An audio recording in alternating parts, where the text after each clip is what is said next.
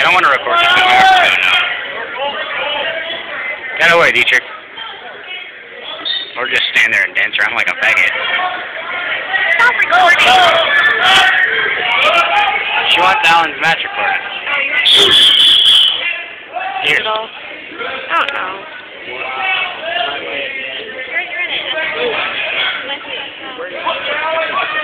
I have no idea.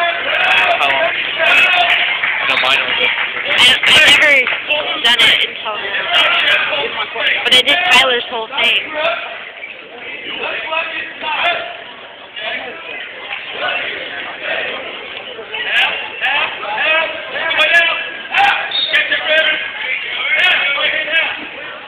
I don't know why he's here.